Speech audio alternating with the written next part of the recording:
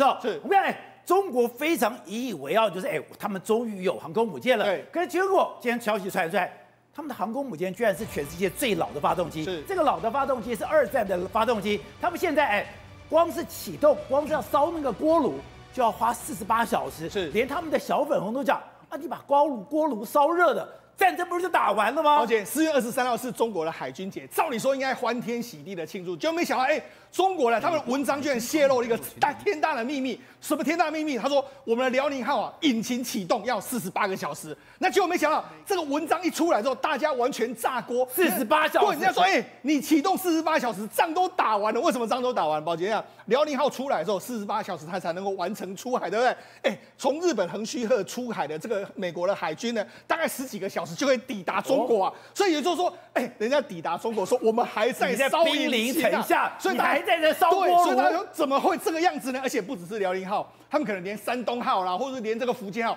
都是这样一个状况。好，这是第一个糗事。第二个糗事是什么呢？哎，他们这个山东号完成演训，准备要回去，回去之后，现在距离我们台湾西南呢，大概是一百二十海里左右这个状况，不但全程被我们掌握，那现在它可以说是动弹不得。怎么样动弹不得为什么？现在美国有四大航母在周边围着它，一个是雷根号，一个是美利坚号。哦马金岛号还有尼米兹号四大航母围着你，你到底有多强？我们要看你到底有多厉害。所以他，现在哎，海军节好像对中国来说的话，今年的海军节似乎不是属于中国海军的日你说。山东号现在本来耀武扬威，对现在你的一举一动、你的行程都被看穿了，对看穿了以后，对人家把你当法船了完。全动弹不得。好，那我们就讲，哎，事实上这个所谓中国的这个辽宁号要启动四十八小时，这不是我们瞎说了。为什么？因为这是其实是由香港的媒体《星岛日报》哦旗下一个头条新闻，它转载很多中国媒体说的这个问烧四十八小时开水，战争结束还没有出港，辽宁号动力真的全球最落后吗？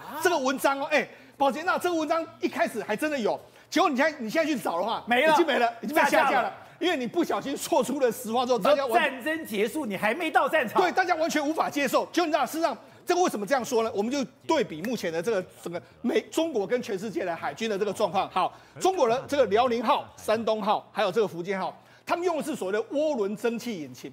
涡轮蒸汽引擎就是你要把它的涡轮的里面的水要烧开，对烧开，因为你要烧开这个里面的水，所以你需要时时时间。所以根据中国媒体的说法，是要四十八个小时才能把四具引擎把它完全烧滚，烧滚了之后才有引擎可以推动。所所以以真的要不是48小时辽宁号、山东号、福建号都要四十八小时。引擎都是这样引擎。好，那我们来对比美国或是全世界其他国家。美国海军的尼米兹号，他们是用核子动力。对核子动力来说的话，启动大概约莫两个小时就可以启动了。另外一个法国的戴高乐来来说的话，因为它的体积比较小，对那引擎也比较小，哦它约莫一个小时就可以启动。那最目前为止启动时间最快，当然是英国的伊丽莎白女王号的这个这个航母。为什么？因为它是用所谓的燃油蒸汽加上电力，所以它启动的时时间是瞬间就可以启动。所以人跟你讲，哎、你是是啊，被两金，然后一定来个临门靠啊，你要什么作战力可言？所以这个文章出来之后，哎、在他们中国网络上讨论的非常多，对大家说，哎、怎么会这个有这个文章？就后来没多久，现在这个文章已经完全下架，你都看不到了。而且你讲，哎，不管辽宁号、山东号、福建号，它的引擎都是二战时候对，的。人家现在说什么？哎、人家就说了，你这个这个是中国网友自己说，因为现在文章出来之后，大家说，哦，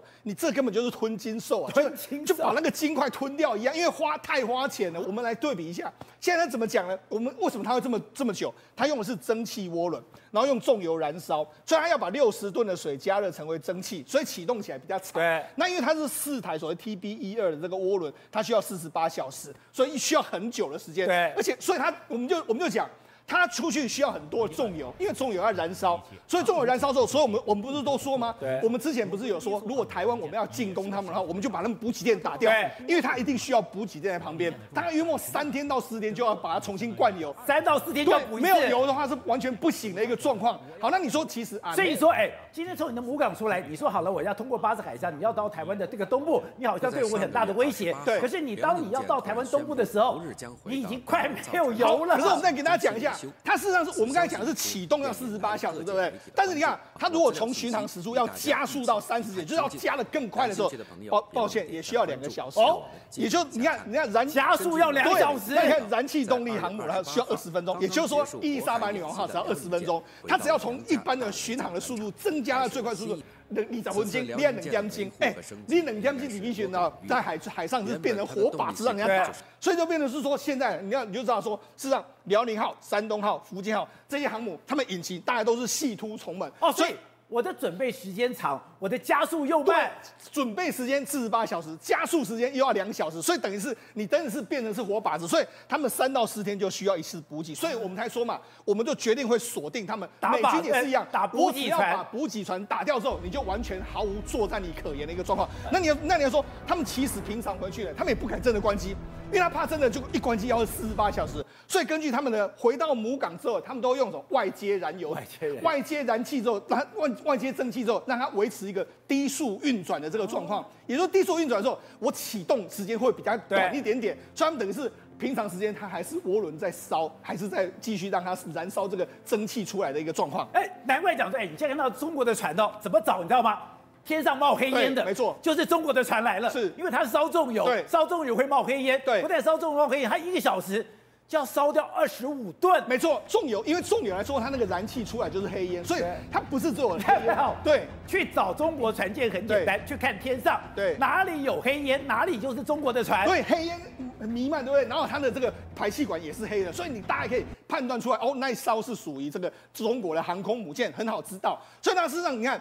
他的相对于中国在那边说，哎，我们真的要四十八小时才能够这样吗？美军这时候呢，哎，跟你耀武扬威，他说什么新纪录？所以他说，哎，我们的尼米兹的航空母舰呢，生涯第三十五万架次的这个飞机着陆成功啊！三十五万架次，对他们是这样，三十五万架次哦，我们没有听错哦。那我们前阵子才讲。这个中国的山东号不是出去吗？它顶最多最多最多只能够五六天只能够两百架次，人家现在离你知道已经有三十五万次的这个架次，所以你知道美国在航空母舰上面的作战能力或是实战经验，这个绝对不是中国的航母能够比，更更况。哎，你要细细细找背点金才能够启动，人家两个小时就启动，都可以开到你家门口去等你启动的时间嘛。而且现在对中国来讲，哎，之前不讲的中美对战嘛，中美对战的时候，我跟你讲，你把很多的国外的外商的供应链给赶出去了。那讲的你嘴嘴巴讲讲的，现在按照中国的出口的数字很清楚哦，它现在的出口等于说。一般来讲还是上上升，因为它到东南亚、到非洲、到中南美洲是增加的。对，可是它到了美国、到了欧洲，真的是在下滑当中。没错，我觉得对中国来说的话，它的目前经济面临到一个可能非常大的转折时间点。为什么这样讲？你看它今年第一季的贸易的这个状况来说，你看主要几个状况，欧盟，你看欧盟下降了五点五个 percent，欧盟下降，对，美国下降了十三点一个 percent，另外一个是日本下降了十一点五个 percent，另外是台湾下降了二十六点五个 percent，也就是说台湾下降这么多，对，也就是说你可以看。到注意到，大部分的这个下降的状况来说的话，都是可能现在跟他在打贸易战，有一些贸易摩擦的主要的国家。当然了，他对这个东盟啊、东协，或者说对中南美洲的这个出货量增加非常多。对。可是问题我必须讲，它出口可能都是一些比较低阶的一些产品，这些很好取代。它反而过去出口出口到美国啊，出口日本、台湾的话，有部分的产品来说，现在可能就没有地方可以做。所以我我才说，尤其尤其是这样。台湾、日本这两个国家，事实上为什么会跟它贸易量会减少这么多呢？因为很简单的一个理由，其实台湾我很我们过去不是都说嘛，我们台湾对中国享有非常大的贸易顺差。对，那个部分是什么？因为我们有很多代工厂在在中国，对不对？富士康啦、和硕啦，这个还有伟创等等，我们在中台湾呢生产的部分的这个零组件之后，再运到那边去。那为什么台湾对他们的贸易量减少？因为这个部分大量减少，因为他们因为他们的工厂移到越南、移到印度去，所以你可以看到接下来台湾的这个出口，搞不好会台湾的贸易伙伴，接下来越南跟印度的扮演角色会越重要，这也暗示着整个供应链在移转的一个过程。所以说，从这张图就看到。中国供应链跟非中国供应链，对，真的已经慢慢切开了。没错，这个非常明显的一个状况。那包括说讲日中国大陆目前为止来说，整个产品来说，特别在高科技产品，真的出口的下降的幅度是非常非常巨大的一个情形。好，那我们接下来看到这些画面，这个让人家也非常惊讶，这也是最后最近的报道。对，中国不是讲说，哎，制造我的高铁是非常进步吗？我的高铁还可以做输出吗？可是现在居然传出一些照片，是现在中国高铁很多的车站外面居然荒烟蔓草，因为。他真的赔太多钱了，他赔钱到什么程度？赔钱到他的车站是没有人进去，没有办法维修了。没错，因为中过去一段时间，中国的号称说，哎，我们的这个高铁有两万公里，所以这个真是全世界的高铁大国。但是因为你盖太多之后，变成变成浪费。那为什么浪费？你看，这是雄安车站，雄安车站，哎，当初那个习近平说我要建设雄安特区嘛，好，所以他们在这边建了一个非常巨大的雄安特特新站，就被他建下去之后，宝姐，那多多夸张吗？它旁它周边。现在都已经变成是大草原，因为没有人来这边做，而且它每一天经过的班次是相当相当少的一个状态。这个是雄安雄安站，外面就是这个样子，完全都是大草原。好，那除了雄安站之外，还有云南的这个扬中高铁的这个车站，它也是几乎是没有人，鬼刚都没没有人到了这个地方。你看旁边甚至还长出了这个荒烟蔓草，甚至你看这个还有这个南京的这个江浦站盖好了，但是到目前为止没办法用，为什么？因为他们亏太多，你知道亏多少钱吗？二零二二零年的话，亏了五百五十亿人民币。中国高铁它亏了两千四百四十四亿。二零二一年来说的话，亏了两千两百一十三亿台币。就到去这个去年上半年就亏了三千五百七。越亏越多。所以那事实上，中国的高铁反而已经变成，虽然说他们现在号称说可以输出了，但是目前为止，中国高铁盖成这个样子之后，变成是他们伟大不掉的一个状况。他们这这个所谓高铁的财务状况，恐怕也会越来越糟糕的。而且它负债金额高达二十六兆台币。对啊，所以我才说嘛，中国高铁。过去盖太多，但是呢，你我我说过一句话，你盖了那么多投资的时候没有回收，重重点呢，后面的这个烂尾的情形恐怕会非常严重。好，体会，那就是现在传出来辽宁号、山东号、福建号全部，哎，我在发动的时候都要四十八小时。这个在作战的时候真的是一个恐怖的短板吗？这真的是短板，真的是短板。对，你知道一般我们军队来讲，或是军舰来讲的话，一般来讲三分之一会去准备在在进行这个所谓军事演习，或者在演习过程在训练。另外三分之一可能是在战备，就随时 stand by 的概念。另外三分之一可能是保修，他想要入港保修。所以一般来讲的话，保修、战备跟在作战。对，所以一般来讲，平常时候会分成三分之一、三分之一、三分之一。但是你战争的时候不一样啊，战争是全面动员嘛。对。那战争全面动员，你那个保修的，如果你还要动到四十八小时，再把涡轮启动，蒸汽涡轮启动的话，那当然战争就可能就结束了。所以对辽宁号来讲，山东号甚至福建号，因为它现在福建号也不是核动力的啊，现在福建号也是用传统的蒸汽涡轮的这种概念来讲的话，那当然在。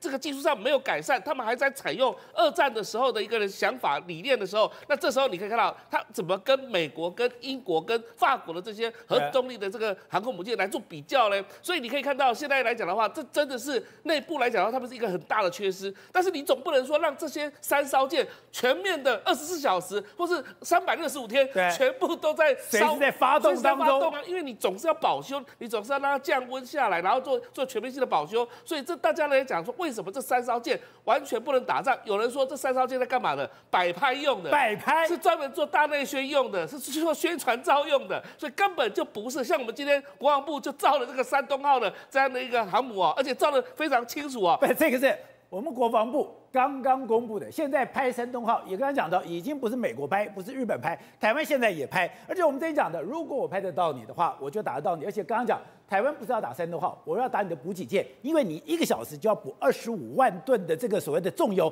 而且这个重油刚刚讲的，你非常好，三到四天就要补一次，三到四天如果没有补上去的话。你就变成一个废铁了。是啊，那如果他的后续补给舰没有到了，打了一艘，有人网友说打了一艘，我们还有后面千千万万个补给舰。问题是你补给舰一直来被封锁、被围堵，你怎么去跟他加油？而且在加油过程当中，就是最危险的时候了。所以你看到这三张，我们光部啊，越照越清晰啊，越照越清晰。上一次上一次那个从过去巴士海峡的时候，还有点模糊，刻意用模糊。这一次来讲的话，刻意放比较高清了。那为了高清的，你要看舰载机哦，你看舰载机上面只有二十多架而已啊，而而且完全来讲，好像没什么太多的。动静啊，对，你说舰载机都可以数出来，一二三四五六七八九十十一十一架，对，然后还有它里面的话，夹舱里面还有还是有还有几架在里面，但问题是什么东西？就是说对山东舰来讲的话，它从来就是常常发生很多的问题，因为它的母港大家知道它是在三亚。它不是在北方，但是它的制造它的地方是在大连，所以它常常啊在南方呢不知道怎么样演训完之后，然后通常都要再回北方去修理，大概修理了两三个月之后才会再往南走。你说他要花很多时间维修？对啊，所以你说你进到港，进到它原本的这个所谓大连厂去修修理的时候，那不是要降温了吗？那不是就是重新要启动了吗？那就是要等四十八小时，一样的概念，它要等四十八小时才能够重新再再恢复它原本的这蒸汽涡轮的一个动态哦。所以同样道理，不是只有这个所谓的山东号。辽宁号也是一样，常常也是说进到大连厂去维修。那辽宁号的母港是在青岛，然后大这个山东号它是在三亚。所以不管怎么样哈，现在来讲的话，中国的航母真的就是摆拍用，它不是有具有真正的作战能力。不是。另外我们看到一个消息是，智利说，哎，现在我要把锂矿收归国有，收归国有就收归国有吧？你说没有？这是一个能源战争的开始。能源战争对中国来讲最不利是。中国本来就早就要打这个能源战争，所以中国在很多地方就已经收购锂矿。如果你今天哎这些矿全部都收归国有的话，那对中国来讲啊，我之前的布局不就一场空了吗？对，这个就是现在大家都在开电动车，这个最重要就是白色黄金、白色石油，就是锂矿石。那智利总统这一次他不是把所有的矿权收归国有，是把两家在美国上市的锂公司。给变成国有化，要把那股权交给智利的国有公司。没想到这两家在美国挂牌公司股价马上大跌，大跌之后，你知道谁又跌得最凶吗？谁最凶？中国的天齐锂业、中国的赣锋锂业、中国的比亚迪股票在跌。不是我不懂啊，但你今天是在两家在美国上市的公司，你就倒霉就是美国，美国人倒霉，美国人你不重视，而且美国人你跟中南美洲没搞好，你活该倒霉。可是你说。真正受伤最惨重的是中国公司，对，有中国的天齐锂业一口气跌了五趴多。原来它是 SQM，就是智利化工这家公司最大的股东，它持有它二十三点七七，用了四十多亿美金去收购它的股权，等于中国透过天齐锂业。在收购智利化工，控制智利的这个白色石油，幕后引武者，他才是真正的最大股东。当然，另外一家公司是美国公司，它其实也是有中国的股权在里面。那也是中国在控制的，对，也是中国股权在里面。所以这个消息一出来，比亚迪马上就被质疑，而且比亚迪在今天马上发出消息说，它还是会继续推动。但是人家说，它二点九亿美金在智利建的锂矿厂，恐怕要延一延了。会有延吗？因为这个智利总统，对你很尴尬。他在四月二十四号的时候才讲说，我比亚迪要在智利这个盖。然后我就收归国有了。对，所以大家说他可能成为第一个苦主。当然，比亚迪今天第一时间站出来说明说，他还会继续推动，因为他现在是刚在推动，而且这这个三十五岁的总统，他是一个左派总统。过去四年来，智利有四次的暴动，上街头有四次暴动，所以他一直想要化解贫富差距。所以他想要做的是什么？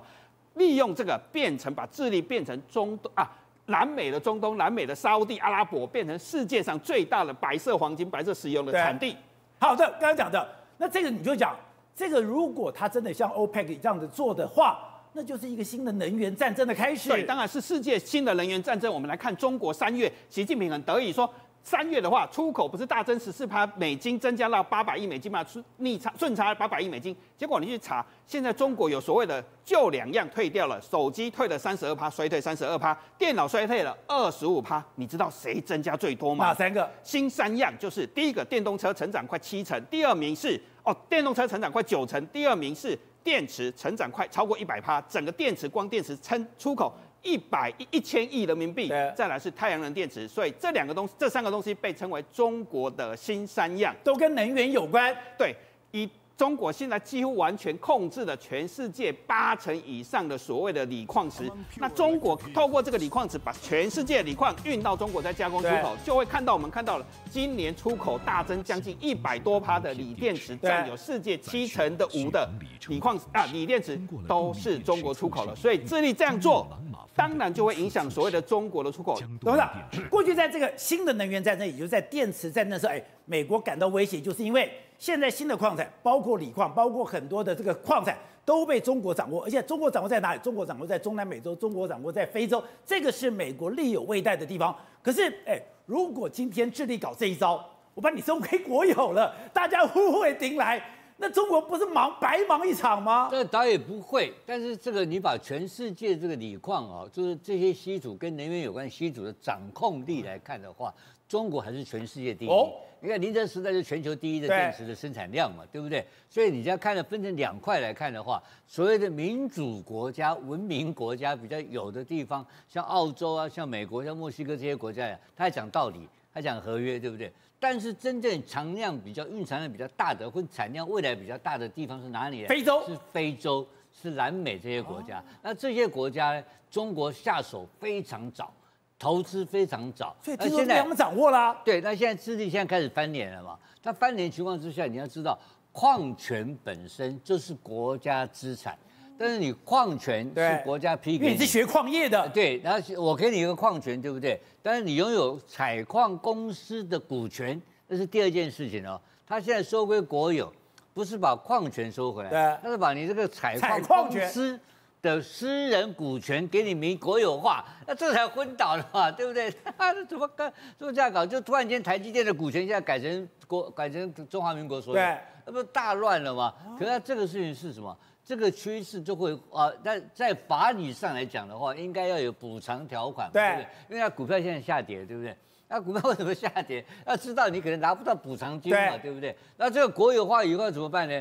就重来谈，就重谈了嘛。那重谈的情况之下，那智利有能力生产电池，生产没有？没有能力啊，还是他们生产？他是干什么？他控制拿回来以后，中瓜瓦郎走娘嘛，就是顶桥娘啊，重分配。重分配，那重分配的时候，严格讲，那有些所谓的新兴国家，像美国这些国家的话，他就有机会，哎，您别买来跟你标记，对不对？就开始来讲，因为过去我在把那个锂矿给你这个宁德时代，给你这个比亚迪的时候，那个大概就是大家大家这个悲惶交错，你你们保多少年就钱就给你签给你一签签五十年，签三十年这样搞。我要把你收回来，怎么办？对，收回来开标重谈，可能是一样给你，但是你把它搞到巧合，所以这个在麻烦在哪里？那个这个国外的媒体学术上早就报道了，因为中国所掌握的矿权的区域跟国家都是属于。政治情况不稳定区域，说翻脸就翻脸的地方，还有军头，整个军阀控制，这个很麻烦，这个是翻脸翻脸。还有非洲一大堆，它有矿，对不对？它基本建设没有啊，运不出来啊。对，那你要他要你干嘛？哎，我矿给你，你给我马路给我开出来，就昏倒了嘛。你要不投资，你拿到矿以后你没有用，因为它它没有办法出不来，它在那个崇山峻岭里面啊，但是有蕴藏量丰富啊，所以这个都是未来的。除了地缘政治啊，还有这个科技的，还有人员的这个整个的斗争的开始。那这斗争开始，中中国有没有退路？没退路嘛，跟你搞到底了。对，因为目前来讲，它领先，它维持这个领先必须要做了。那这个就会有一个另外一个第二件事情发生，就会变成像美国、日本这种先进国家，对，他就会想办法。突破你这种稀土的掌握能力，对我就开始改变别的科技，就改变对锂矿的依赖，改变配方，让你绿人的这个改变游戏规则啊！我不能被你这个矿绑住啊！我就用其他的一些化工材料，能够达到能源效率。所以这个新的科技发展，所以未来二三十年内，这整个的能源科技啊，或是绿能科能源科技是世界的主流科技。到底是哪一边获胜不知道，但目前来讲的话，是中国第一名。对，那中国处理这种非洲、处理中南美洲技术好不好？好，你放心，他有本事，因为他会送红包，他会去买嘛。中国做这种短平快的交易，全世界第一名。对，美国不敢干，他敢干，所以它里面非洲，他早就赢美国赢牙天天，然后什么花钱他都敢花，而且控制力还是全球第一。照刚才谈就在中国最有掌控力在嘛，在中南美洲，在哪里？在非洲。可这几个地方，哎，说变就变，说正变就正变，说乱就乱。现在全世界都注意哪里？注意苏丹，连美国都受不了撤侨了，而且看起来真的被修刷了。哎，苏丹真的太危险。苏丹现在内战嘛，对不对？你看他的政府军跟快速反应部队直接在大马路上直接隔着墙就互轰啊！而且他们互轰之外，你看。这种他的火箭弹直接都出来，一般人都有，然后隔着墙在那边护轰嘛。哎，这些都是所谓的正规。这是苏丹，对啊，苏丹真的时候你在那边怎么嘛？那我们再回头看看那个火箭炮那个画面哦，在火箭炮是他们真的你也感觉不到他们有到底有没有目标或敌人，他们知道敌人大概在那个方向，火箭弹都炸出去，所以他们现在状况是怎么样？连机场都炸。他们为什么机场在炸？我给大家看机场被炸的画面，原因是那时候他们发动兵变啊，那个军军军变的时候，政府军有在跟埃及去做演习啊，所以快速反应部队有怕埃及介入，一不做二不休，先把苏丹机场炸掉再说。而他们炸过之后，连苏丹的战机都有被炸下来了，所以苏丹现在是非常非常夸张的。而且呢有各式那种运输机哦，你看哦，在高空中飞的时候呢，也被防空飞弹炸下来。而且苏丹呢，现在进入到类似这种宵禁的感觉哦，有那种大量的武装分子在街上哦开始去做扫荡。他们这种扫荡呢，其实就是要去管控到底人民有没有乱跑。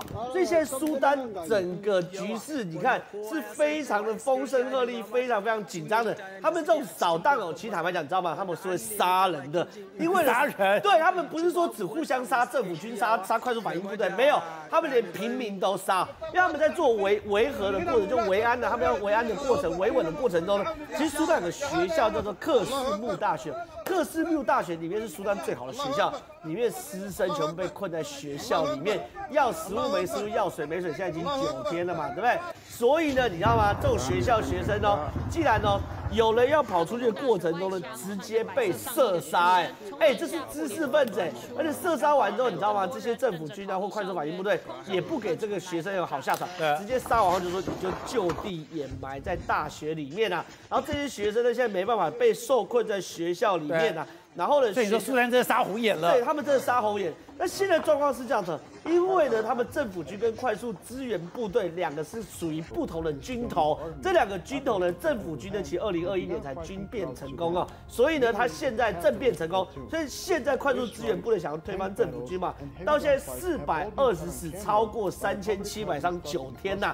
那为什么杀红眼？因为你知道吗？他们很多都是回教徒，回教徒开斋日哦，他们连开斋日说好，那我们不要打仗，七十二小时不打仗，就两个小时就打起来了，所以。现在的世界各地都要去撤侨，我给大家看各国的海，哎，等于说特战部队都进去了。对，现在关键就是大家赶快去撤侨。第一个给大家看美国海豹部队撤侨，美国海豹部队派了两百辆车进去哦。去做所谓撤侨动作，为什么？哎，那个红框框全部是海豹，海豹特战部队，为什么？因为现在没有飞机敢起飞啊！你说起飞可能会被青部分青红招牌炸掉，所以美国其实在这边的的美国的美国驻苏丹的使馆人大概九十名或一百名左右，不需要这么多台车，所以美国就是也协助其他国家来撤侨。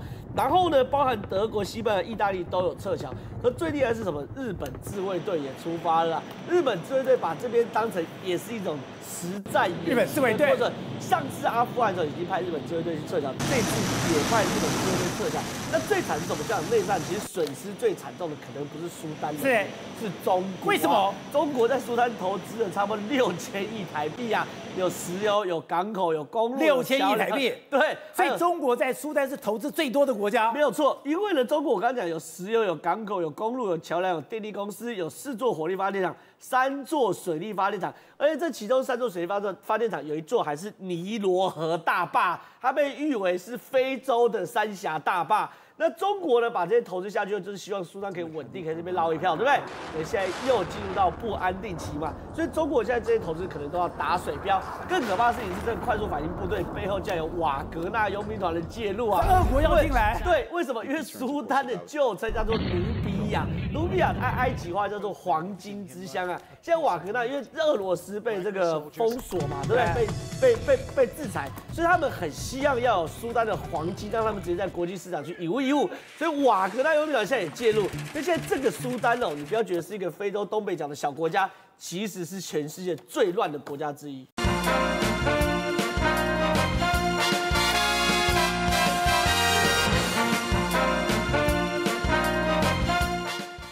这，我觉得对中国来讲非常的尴尬。之前这一张的照片已经对辽宁号来打脸了。你不是讲说五百公里处？不可能，外面的船闲人不能勿近吗？结果没有想到，你不但接近了，而且近到三点六公里，近到三点六公里被你拍了这张照片之后，居然被拍到辽宁号冒黑烟。辽宁号冒黑烟也就算了，现在这张照片是，你居然两三天动都不动，在某一个点上面，没有错。辽宁舰这次真的闹了一个国际大笑话，他们这次我讲了嘛，是敲头敲锣打鼓的出来，灰头土脸的回去。灰头土脸，灰头土脸没有错嘛？你当然你被拍了张照片有多糗啊！哎，它距离只有三公里左右，三公里什么概念？我狙击枪都可以打到你哎！美军都还不怕，就在那边翘脚看你嘛。本来以为灰头土脸回去这件事就没了，对不对？就没想到这样，辽宁号现在叫做有家归不得啊，因为他发现他可能哦，他的引擎好像坏掉了，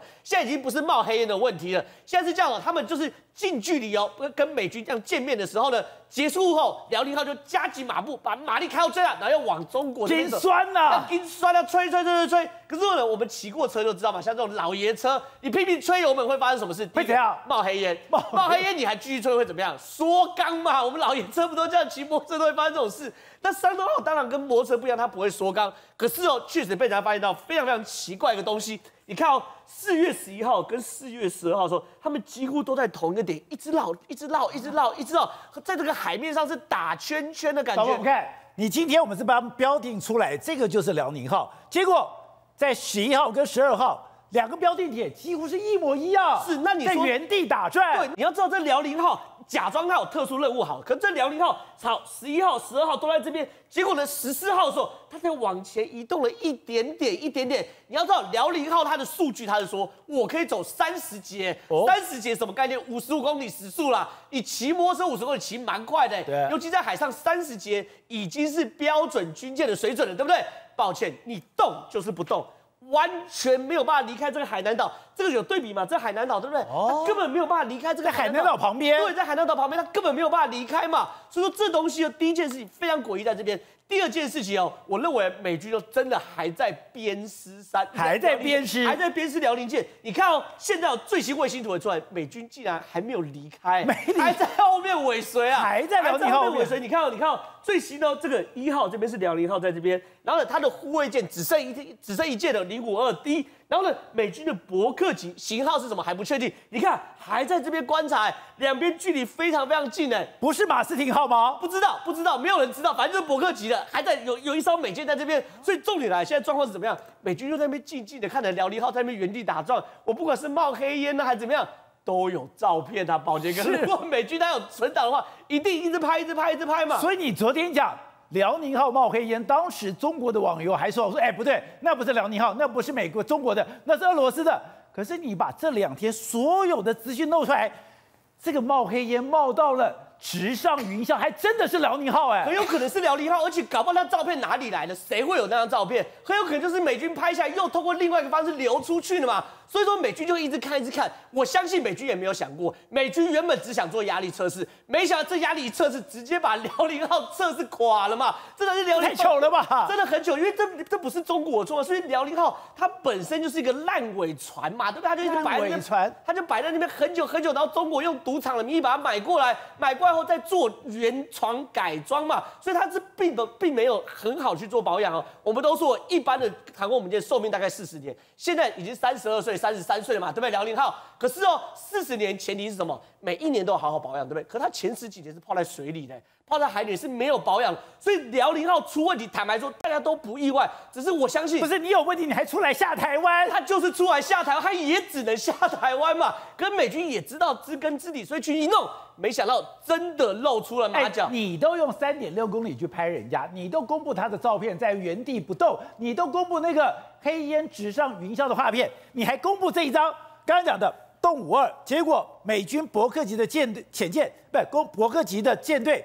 就直接在这个位置盯着你的辽宁号，而且这件事情很荒谬，是什么东西？辽宁号坏掉就算了，可动五二没有坏，动五二在旁边干嘛？在看戏是不是啊？你不是叫驱逐舰吗？你不是要去驱逐别人吗？没有，所以现在整个中国战术真的是遇到一个非常非常大问题，甚至哦，现在拜登的好朋友不是来来到台湾吗？中国不在那边搞这个实弹军演吗？现在军事专家也讲，你在这个地方小范围的搞实弹军演，其实透露出两件事情。第一件事情，你的东风二十一 D 根本没办法发射。为什么？什么意思？很简单，因为东风二十一 D 它的目标对象是谁？是美国军舰，对不对？反戒指，对不对？你看哦，美国动不动一勇兵三型从美国西岸打到南太平洋的一个小岛五千公里，动不动就打一发，动不动就打一发，而且我说在那边打，就在那边落地。可是呢，你东风二十一 D 去年打过一次，变成国际新闻，对不对？打完后后来才发现，原来有两枚掉到广西，还云林，两枚没有中，对，两枚不见了，可能在广西，可能在云南，不知道在哪。那个照片残骸，大家可能还记忆犹新嘛。所以军事专家讲了，你如果东风二十一 D 准的话，你其实什么时候不用看，你只要在你的外海一千公里，白烧渔船打下去，美军就不敢在旁边一直挑衅。对哈，这是你是最清楚的逻辑吧？结果呢不做，你在汕头这边去做军演，好了，你在那边汕头去做军演，大家都检视你做什么军演啊？因为两边要 PK 要秀肌肉嘛。结果呢，早上八点军演，晚上六点收工。你知道大陆网友看到说什么东西？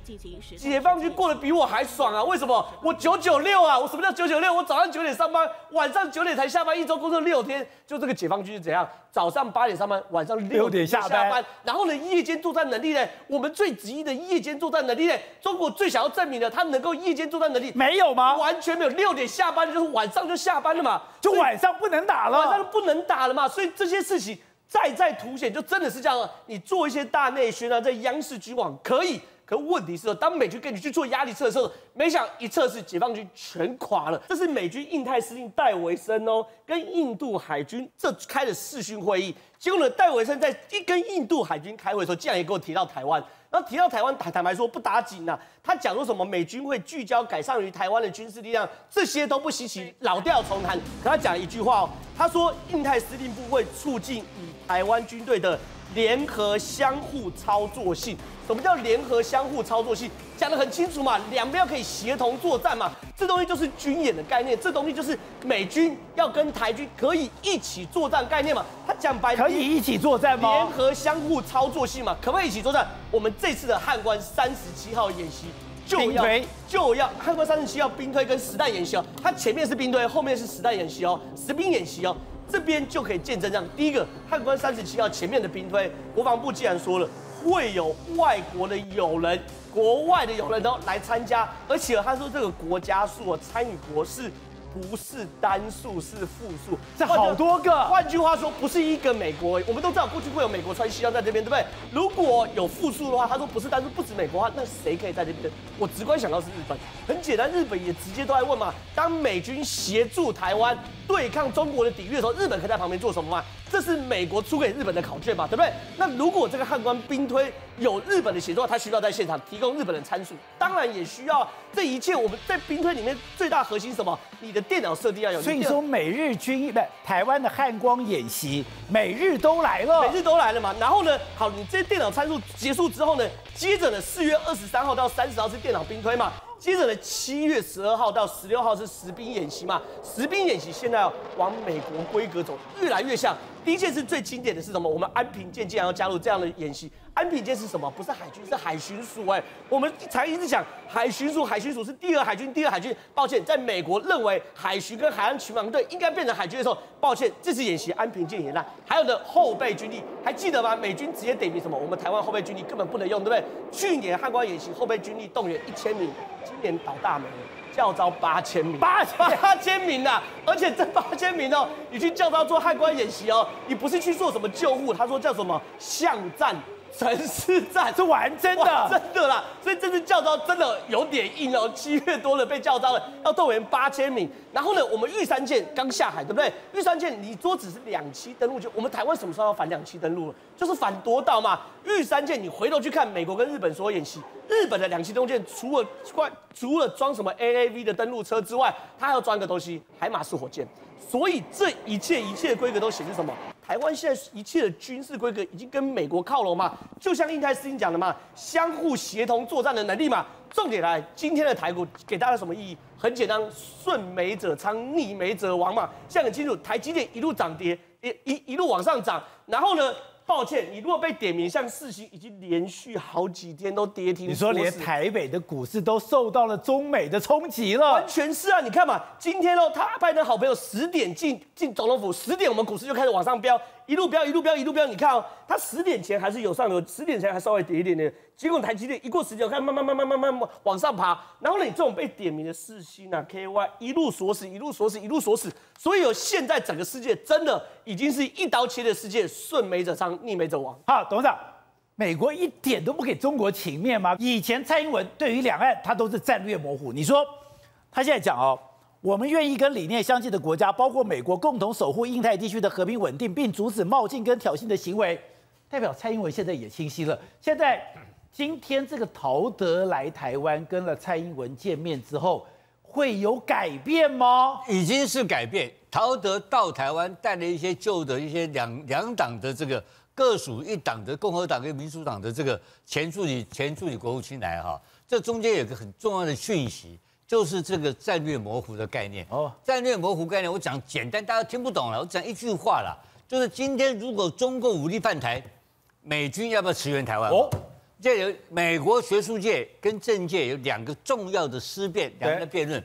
如果美军现在表态，就是川普政府的态度哦，很清楚的表态，蓬佩奥表态。如果共军犯台，美军百分之百出兵，那这个有助于是让去压制不敢轻举妄动的野心，对不对？这是一个说法。对。那另外一个说法说，因为你过早去暴露了美军的决心以后，对，反而逼到中共他来尝试这个事情。哦。哦，所以这两种论述现在不断的争辩了。但是我看川这个拜登的概念是往这个清晰清晰方面走。清晰方面走的情况之下，最后要被检验的就是一个就是一个武力犯台的问题嘛。武力犯台，今天蔡英文的讲法等于是摊牌了嘛？要阻止冒进及挑挑衅行为，那就表示说我们是要在这个负责第一岛链的区域防守任务啊。这个是非常大胆的说法，这是蔡英文总统嘴巴里面讲出来。也换言之讲，我昨天在这节目里面讲了一句话嘛，我说这几个人来一定要带着拜登很重要的口信嘛。没有这个口信，蔡英文今天会这样讲吗？不会，不可以嘛。后面一定有非常大量告诉他，你请那个这个呛赌博给你听你的，老大你赶紧听啊！所以我不知道我们不然蔡英文怎么敢讲这种话？要阻止中国的冒进跟挑衅。蔡总统的个性我们都很谨小慎微。对呀，他不要去惹事，他要安全下庄。一波你干人玩给，今天突然间讲这个话，非常有进取心啊。所以我们期待后面还有更多事情会发生。那这个发生的情况之下。中共也也看出来这个这个名堂，所以双方剑拔弩张，是不断的往那个极端的冲突方面，不断的极度的施压方面向上在升。好，那现在美国这样子羞辱辽宁号，是完全不给中国下台阶吗？我讲坦白一句话好不好？美军从头到尾就瞧不起解放军，真的吗？美军是什么样的一个军队嘛？美军建军，美国建国两百年，只有十六年没有打过仗，美军每天在打仗。美军所有的军事逻辑跟军事的战术的演练，它都是从实战经验中改进出来的东西。它所有的军事装备，它的它的武器，一切都是根据实战的经验里面所发展出来。那中共的海军是北洋海师，北洋海师，它都是想象出来的东西嘛？想象出来的跟实际的，它这个，所以他画了一个阵，对，布了一个阵。然后你看辽宁号搞半天，结果被这个马斯廷号。一下切进去三点六公里，三点六公里什么意思？你知道吗？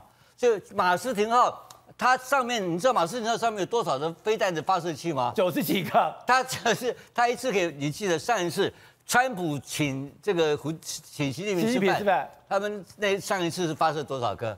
五十五十九颗，我还忘记五十四四十九颗。哎，它一个一个战舰可以发射一一次可以发四十九颗飞弹出去，你这个航空母舰还会在吗？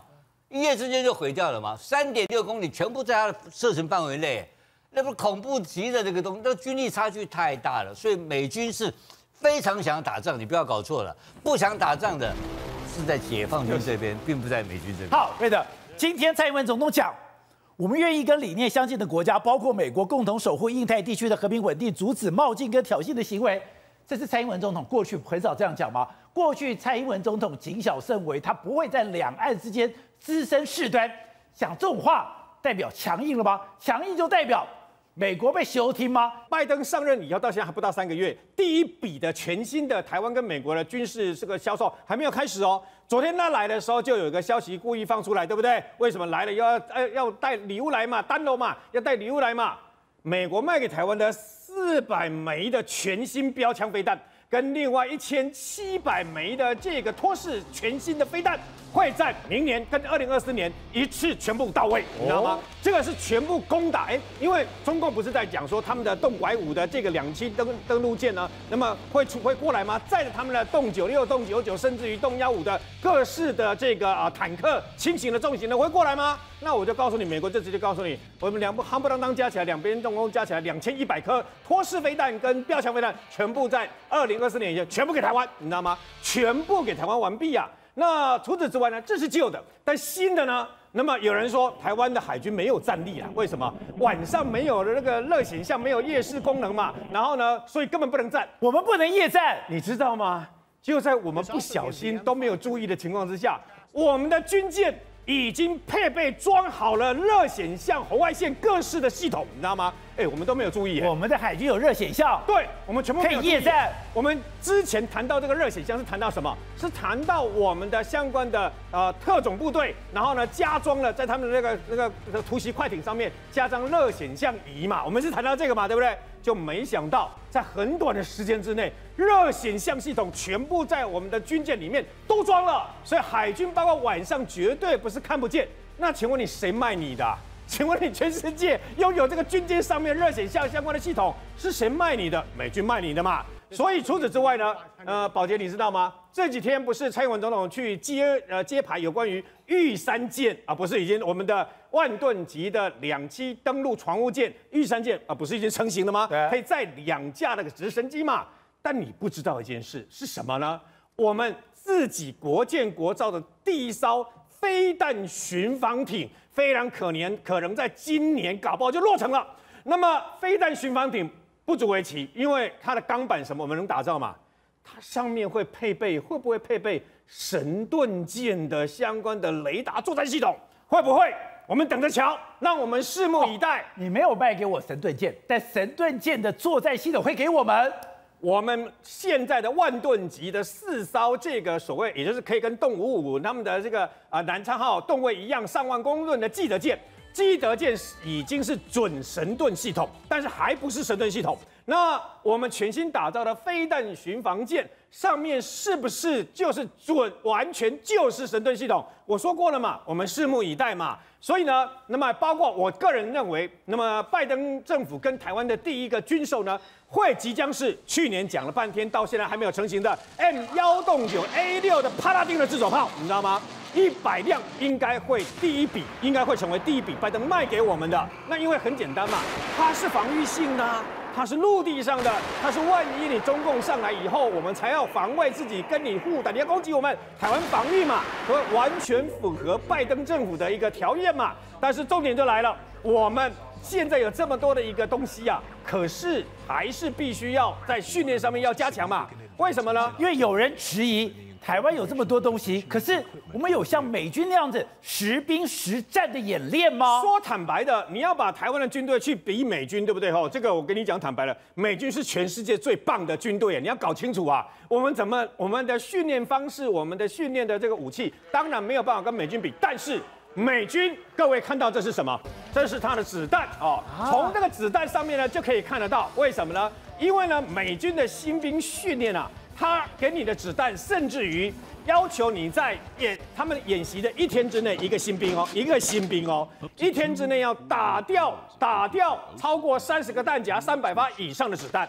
那这这个听起来好像你听三百发子弹好像没什么的，我在部校连一发一盒都没打完。不客气说，过去台湾三十年前的当兵的时候啊，一年都只打六发子弹而已啊，台湾的陆军一年只打六发子弹的，不可思议吧？现在我们的要求呃高一点了，说美国的新兵一天打三百发，我们现在不是四个月的义务役对不对？四个义务役那个军训军训役的那个那个阿兵哥嘛，本来是从二十四发增加到四十四发，后来增加到八十八发，现在要求最高要达到两百六十二发。我们这个是我们的义务役四个月哦，有增加到两百二六十二发哦。那过去这个志愿役的话呢是九十二发，但现在也要增加到两百七十六发，这是一个进步。但是还不够，为什么？因为美军，你看他那样讲，一个晚上最多就打这个三百多发，对不对？他们如果是经过受训，他们有个相关的新兵训练，把它提升到二十二个礼拜啊。那么其中有一个六十小时的不间断的这个训练呢，单单单兵作战的新兵结训训练啊，M4 卡宾枪再加上自动机关枪，总计一个人要发两千五百发。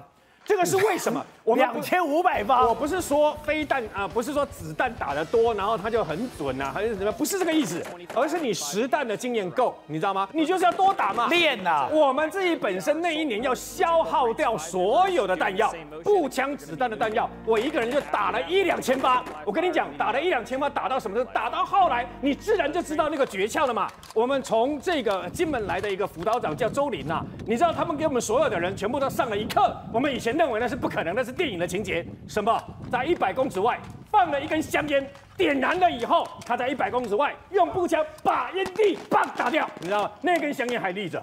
我这辈子从来没有看过，原来电影的情节是真的。那当然，这告告诉你什么？这要靠不断的训练、训练再训练嘛。所以呢，今年的汉光三十七号演习，希望把大量的飞弹拿出来打。你知道为什么吗？我们的鱼雷，我们鱼雷很久才打过一次。我们的飞弹有时候台湾的这么多的飞弹，你知道，单单配合那个六十架幻象两千。四百八十枚的云母飞弹跟九百六十枚的这个魔术呃魔术飞弹，我们都没有把没有把它拿出来好好的用，没打过，还要现在已经快要过期了，所以怎么办呢？又花了三十几亿跟法国签了个约，明年以前会把所有的全新的这些啊这些全新的发射要素全新再更换过。我建议把刚刚讲的四百八十枚的云母飞弹、九百六十枚的魔法飞弹跟各式的飞弹，适度的几十枚在。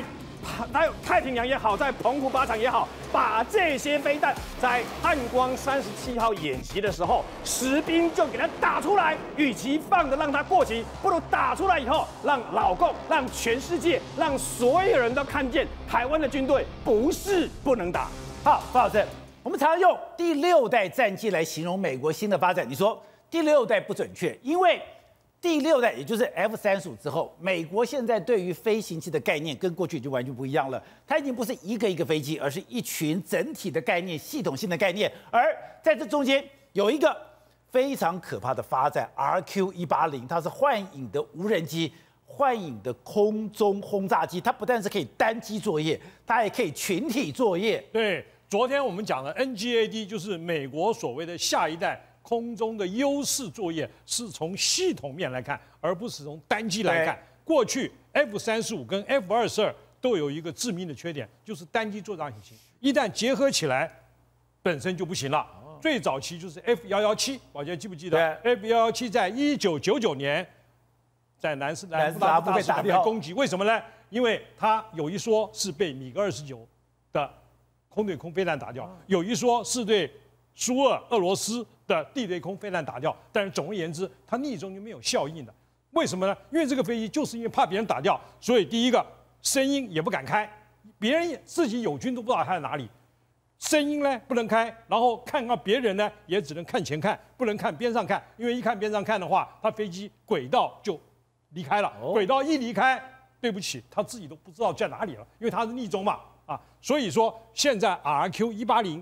改进了它很多缺点。第一个，它飞行的速度快了；第二个，所谓的 RQ 就是无人不带武器，当然是轰炸机例外，但是它可以做到很多轰炸机所不能做到的任务，比如说超音速啊。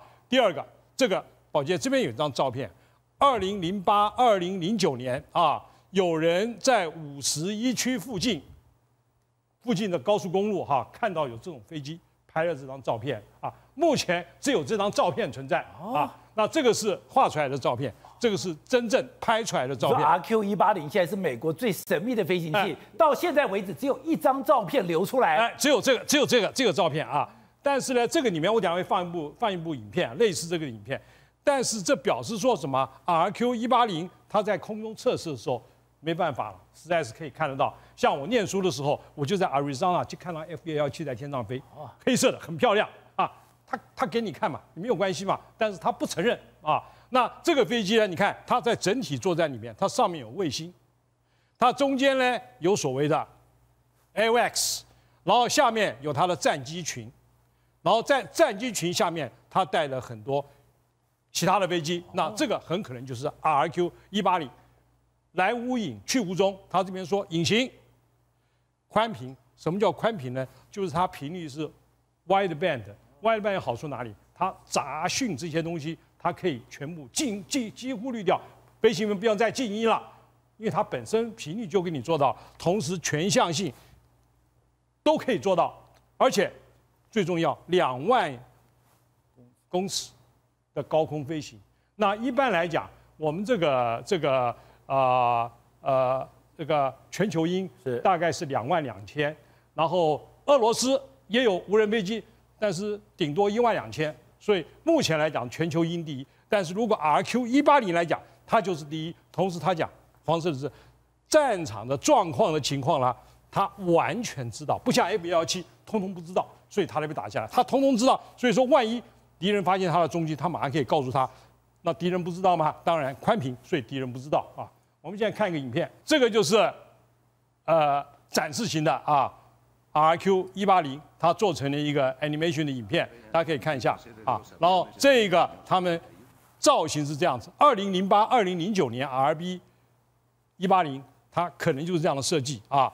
昨天我们讲的 B 二十一是有人轰炸机是不一样的，这个是。无人的轰炸机是不一样的。那这个你看，一二三，目前来讲它是都没有公布出来，但是这只是根据美国发展出来的资料，可以看出来它的形状。你可以看，啊，是这个样子。而且它不但本身有载弹量，还可以指挥到旁边的无人机当成攻击。对，这个就是昨天我有讲一点点，女武神啊这种。无人飞机它可以带小的、更小的无人飞机，而且这小的无人飞机可以带一个侦察，那它可以不用去丢炸弹，一个侦察二点七公斤的一个 payload，同时它也可以，它不用侦察，它就放炸弹，哎，所以基本上来讲，它比地狱火还更好用。那现在美国发展出来什么时候用不知道啊？那现在这个影片就是说示范这个飞机飞行的过程中它的影像啊。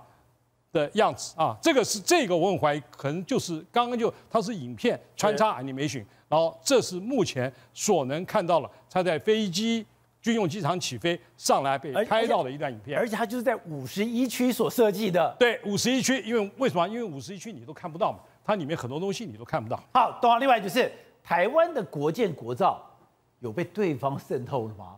对方居然说已经找到了台湾的韩籍工程师，而韩籍工程师就是因为身份暴露了，所以要离开台湾。好，先这么讲哈，我们的我们的前建国造是在台船，重点基地当然是在高雄。那他的这个顾问呢是 GL 公司，是设在直布罗陀，他有韩籍的工程师，有韩籍工程师。好，那我们的对我们的对面呢，中国中国当然也想知道台湾的潜舰到底做的怎么样，有些什么样？真的有来高雄？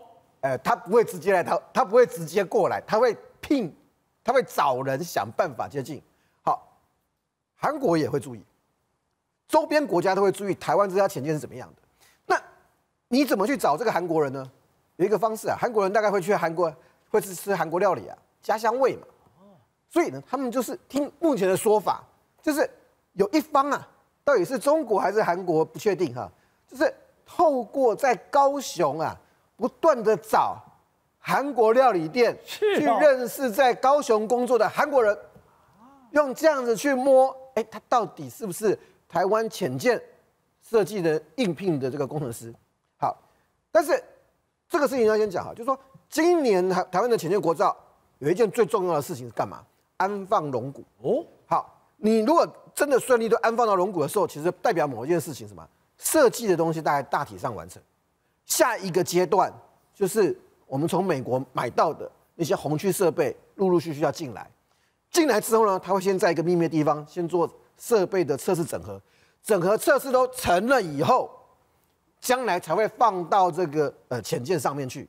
先在陆地上做测试，然后才安装到这个船壳里面。那这里面就有趣了，因为要放龙骨，设计工设计工作也告一个段落，所以呢，这一批人本来就。会各自回到各自的国家去，因为他是从全世界各地不同的地方找来的，所以啊，你在看这件事情的时候非常有趣啊，就是说有没有外国，包括对岸想要知道台湾的潜舰设计的细节？当然有。那你怎么去做做这件事情呢？